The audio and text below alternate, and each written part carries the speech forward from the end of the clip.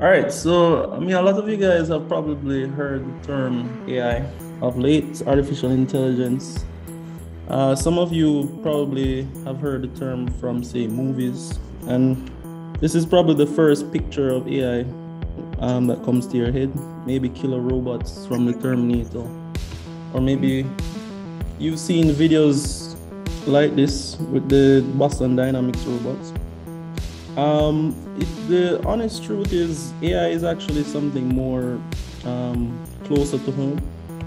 So you guys have actually been interacting with AI for a long time now. So every time you go on social media, the Twitter, Facebook, Instagram, reason why you guys are so addicted to it, reason why it seems to know what you like, especially the TikTok, is because it's essentially learning from your patterns, um, collecting data on you every day um, you probably heard the term the algorithms. So that's essentially what they're talking about.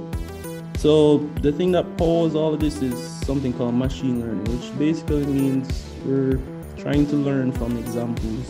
So we collect a lot of data, and from that, uh, we create what's called machine learning models that build patterns and extract um, certain patterns from that. So as I said, if you guys have used Amazon, the Netflix, the Twitter, you guys have probably experienced machine learning firsthand. Um, so some other applications, uh, self-driving cars. So cars can actually drive themselves now. If you guys don't know, um, you have autonomous drones. So maybe in the near future, you guys will probably start seeing packages delivered to your door. Of course, uh, AI can be applied in financial markets, which is actually something I'm working on right now. Um, so you know predicting movements of the markets to make profit. So let's say you have a lot of companies that are you know leading the AI charge. So you have Google DeepMind. Um, so a lot of the big um, research came out of that. So AlphaGo, which is the Go playing AI and that Google DeepMind created that beat the world champion Lee Sedol.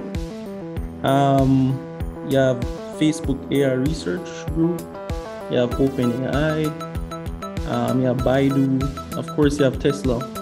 Uh, you know, Tesla is working on some really cool tech right now. Their self-driving cars. Um, so how do I get into it? So you know, what's the what's the best path towards this? So as I said, if you're looking to get into specifically AI research, my advice to you is start small start looking at like you know tutorials online generally you know what is ai what is machine learning learn about the different subfields of machine learning. Then you can start getting into like reading the papers.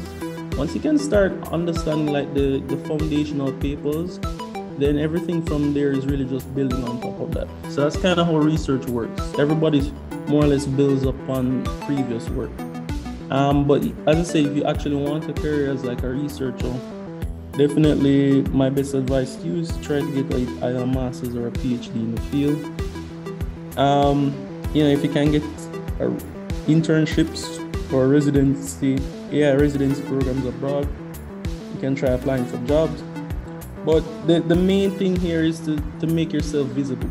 Like, don't think you're just gonna put some stuff on a application or on your resume, um, upload it to say Google DeepMind or um, Facebook, and you know they're just gonna give you a job. You need something that makes you stand out. So um, I would say, you know, think about what could make you stand out. So whether maybe you can write do some tutorials, um, write some blog posts and you don't need to be some genius. Like a lot of these blogs, posts, and tutorials, they're literally copying each other. Um, so like you could literally watch a tutorial and then more or less put your own spin on it, um, sort of showing what you learned. And from there, I would say try to see how you can, I don't know, come up with some projects and like actually work on them. Um, but I would say before you do that, um, yeah, actually do some tutorials try to understand what has already been done and see if you can do it yourself and kaggle kaggle is also your best friend so think of kaggle as like the hacker rank for machine learning so you have a bunch of data sets on kaggle and you have people that actually compete um, to build machine learning models. Um, why you should do AI?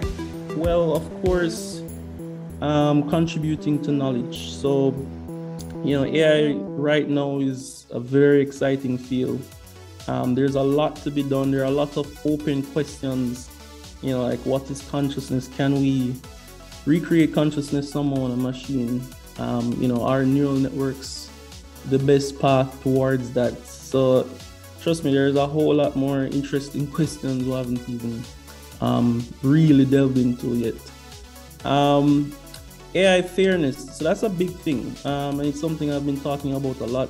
It's why I've been pushing for, you know, AI development in you know places like the Caribbean and Latin America, because as I said, AI it works on data, and if AI is supposed to be this ubiquitous, um, inclusive tool that can help humanity, then it has to work in not just developed countries like the States and Europe, it has to be able to work well in developing countries like the Caribbean, um, Africa, Latin America.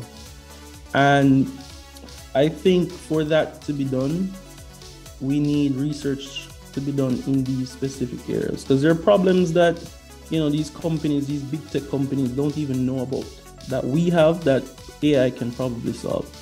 Um, I think someone had used AI to detect potholes. Um, so even things like that, that you know, probably something you know, first world countries don't necessarily have a problem with, but we have a problem with.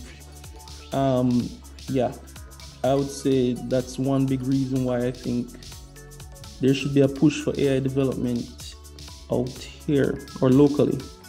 Um, but also in terms of like you know ethically. So I don't know if you guys heard about the incident where um, Google Photos were um, predicting images of black people as monkeys or you know stuff like that. And it's not necessarily like a malicious thing. Like the AI researchers are like, oh, we're gonna do something racist today. It really just comes down to a lack of data. Um, you know, most of the data that they probably had were of you know lighter complexion. So even things like that, um, it comes up a lot. And of course, it's cool. I mean, look at this dancing robot right here. Like, who wouldn't want to work on something like that? And yeah, uh, I mentioned this a lot in the presentation. There's, um, it, it's estimated the market for artificial intelligence is estimated to be worth trillions, trillions and trillions of dollars in the near future. So uh, you know, think of in the 90s when you had like the, the web and the dot com boom. We're sort of on the cusp of that right now with sort of AI and decentralized technologies. So, yeah, you'd probably want to get on that uh, money train. Um, how can I learn? Well, books. If you're into reading books, if you're not into reading books, YouTube. Um, these are some good YouTube channels. Let's say check out Two Minute Papers, Three Blue, One Brown, uh, Coursera, Udemy. You guys know all of these um, course sites because you probably used it before as a you know as computer science students and practitioners.